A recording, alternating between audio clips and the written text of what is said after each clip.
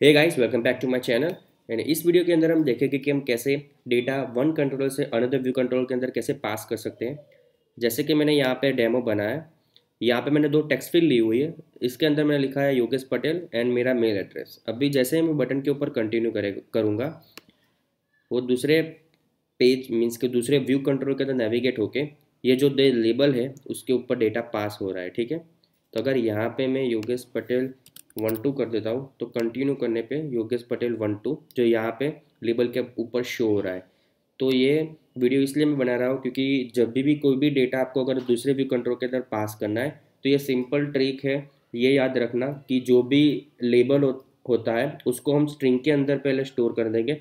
उसके बाद जो भी टेक्स्ट फिल है या टेबल यू है जो भी है उसके अंदर सिर्फ़ डेटा को हमें पास करना होता है ठीक है? तो ये स्टार्ट करते हैं हमें। तो इसको मैं क्लोज कर देता हूँ पहले। तो सबसे पहले एक्सकोड ओपन करो। क्रिएट न्यू एक्सकोड प्रोजेक्ट उसके अंदर single view application demo pass data नाम दे देता हूँ। नेक्स्ट एंड क्रिएट सबसे पहले जाते हैं मेन डॉट स्टोरी बोर्ड के अंदर और वहाँ पे पहले तो टेक्स्ट फिल और वो सब डिज़ाइनिंग कर देते हैं। ठीक है? तो ओके तो यहाँ पे पहले टेक्स्ट फिल ले लेते हैं। तो इस टेक्स्ट फिल को यहाँ पे मैं रख देता हूँ। इसको थोड़ा बड़ा कर देते हैं। ठीक है? कॉपी एंड पेस्ट और यहाँ पे मैं उसका बैकग्राउंड कलर यहाँ पे मैं चेंज कर देता हूँ।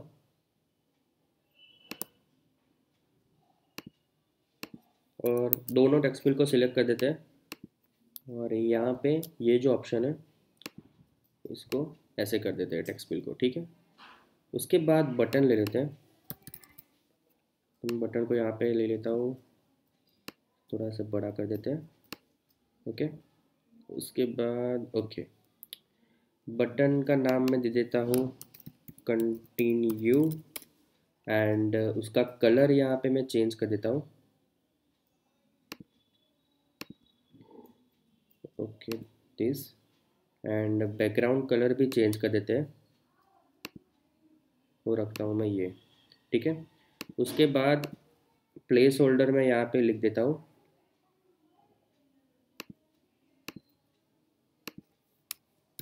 Enter name and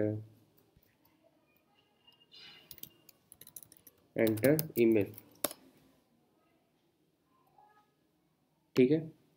उसके बाद एक और व्यू कंट्रोल ले लेता हूँ। और यहाँ पे बैकग्राउंड कलर पहले तो ये सेट कर देता हूँ मैं यहाँ पे।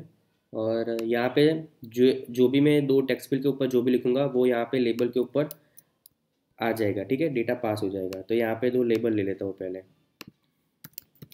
ठीक है? तो इस लेबल को drag and drop and then इसको थोड़ा मैं बड़ा कर देता हूँ। कॉपी एंड पेस्ट इसको यहाँ पे सेंटर में कर देता हूँ।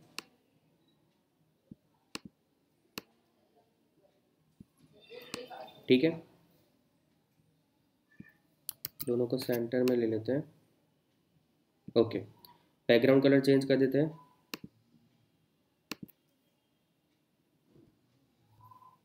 और उसको मैं सेंटर में ले लेता हूँ, ठीक है? और उसकी फॉन्ट साइज़ 25 कर देते हैं। एंड कस्टम टेक्स्ट एंड ये होगा ब्लैक इसको मैं 25 कर देता हूँ, ठीक है? तो ये इतना हो गया। अभी व्यू कंट्रोल को सिलेक्ट करके एडिटर में जाके एम्बेडेड में जाना है और नेविगेशन कंट्रोल को सिलेक्ट कर दो। तो यहाँ पे नेविगेशन कंट्रोल मैंने ले लिया, क्योंकि जब मैं कंटिन्यू के ऊपर क्लिक करूँगा, तब दूसरे ये जो व्यू कंट्रोल है, वहाँ पे नेविगेट होना पड़ेगा इसलिए। इसका टाइटल मैं दे देता हूँ। व्यू कंट्रोलर ठीक है? और यहाँ पे टाइटल ले लेते हैं। तो नेविगेशन बार इसको मैं यहाँ पे सेट कर देता हूँ। और इसका नाम दे देता हूँ मैं सेकेंड व्यू कंट्रोलर ठीक है? और इसके लिए फ़ाइल ले लेते हैं। तो फ़ाइल में जाते हैं new file Cocoa test class, और यहाँ पे मैं लिख देता हूँ सेकेंड व्यू कंट्रोलर ठीक है? Okay press next and just create main dot story mode में जाके, ये जो सेकंड जो मैंने, मेरा व्यू कंट्रोलर उसकी फ़ाइल आसान यहाँ पे मैं कर देता हूँ। Second view controller and storyboard I D मैं सेक दे देता हूँ, ठीक है? ये याद से दे देना नेविगेशन करने के लिए, ठीक है? तो यहाँ पे स्टोरी बोर्ड आई डी में सेक दे देता हूँ। तो अभी सब कुछ हमारा मेन डो स्टोरी बोर्ड का जो भी वक्त था, वो फिनिश हो गया। अभी क्या करते हैं? सभी की आउटलेट बना देते हैं और एक्शन बना देते हैं, ठीक है? यहाँ पे जाके व्यू कंट्रोल को सिलेक्ट करके मैं टेक्सपिल की आउटलेट एंड बटन की एक्शन बना देता हूँ। तो कंट्रोल प्रेस करके drag and T X T name and ये सेकेंड जो है उसका मैं बना देता हूँ टी एक्स टी ईमेल ठीक है? उसके बाद बटन के लिए एक्शन होगी सो कंट्रोल प्रेस करके यहाँ पे एक्शन बना देता हूँ मैं यू आई बटन एंड ये जो उसका नाम मैं दे देता हूँ कंटिन्यू ठीक है? उसके बाद ये जो दो लेबल है इसका, इसके भी बना देते हैं आउटलेट तो यहाँ पे second view control file select करना प्रेस कंट्रोल एंड इसका नाम मैं देता हूँ लेबल नेम एंड ये लेबल का नाम मैं दे देता हूँ लेबल ईमेल ठीक है? तो इतना हो गया। अभी मैं जाता हूँ सेकेंड व्यू कंट्रोल के अंदर। और जहाँ पे मैंने लेबल नेम एंड एक लेबल ईमेल बना। तो यहाँ पे पहले तो मैं स्ट्रिंग बना देता हूँ। तो variable S T R name वो होगा मेरा स्ट्रिंग एंड वो है नील ठीक है? उसके अंदर कुछ भी नहीं है। और वेरिएबल बना देता और एक और स्ट्रिंग बना देता हूँ ईमेल करके एंड वो भी नील रखता हूँ, ठीक है? अभी मैं क्या करूँगा कि जो भी लेबल नेम जो भी लेबल नेम है, वो है मेरा S T R name and जो भी मेरा लेबल ईमेल होगा, वो होगा एस टी आर ईमेल ठीक है?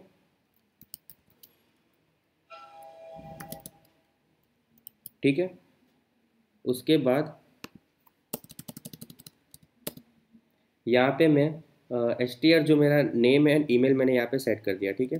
तो अभी क्या करते हैं, अभी इसका मीनिंग क्या है कि मेरी जो भी जैसे कि मैं स्ट्रिंग के ऊपर कुछ भी डेटा पास करूँगा तो वो ऑटोमेटिकली लेबल के ऊपर आ जाएगा। मैं डायरेक्टली लेबल के ऊपर डेटा को पास नहीं कर सकता, मैं स्ट्रिंग के ऊपर डेटा पास कर सकता हूँ। सो एस नेम के ऊपर मैं कुछ भी पास करूँगा तो वो आ जाएगा लेबल के ऊपर लेबल नेम के ऊपर। और एस टी आर ईमेल के ऊपर जो भी मैं पास करूँगा, वो आ जाएगा लेबल ईमेल के ऊपर, ठीक है? तो अभी मैं जाता हूँ व्यू कंट्रोलर में और ये जो मेरी बटन की क्लिक के ऊपर मुझे जो करना है, वो अभी मैं कर देता हूँ। तो यहाँ पे लेट करके एक सेक वो दे देते हैं मैं सेकेंड व्यू कंट्रोलर ठीक है? तो अभी मैं सेक जो है, वो सेकेंड व्यू कंट्रोलर की प्रॉपर्टी है, ठीक है? तो मैं सेक से मैं सेकेंड व्यू कंट्रोल की सभी प्रॉपर्टी यूज़ कर सकता हूँ। जैसे कि देखो, यहाँ पे पहले मैं नेविगेशन का कोड लिख देता हूँ। Navigation controller sorry self dot storyboard dot initiated view controller with identifier जो हमने स्टोरी बोर्ड आई दिया था सेक वो यहाँ पे लिख दो। एंड देन ये है मेरा सेकेंड व्यू कंट्रोलर ठीक है?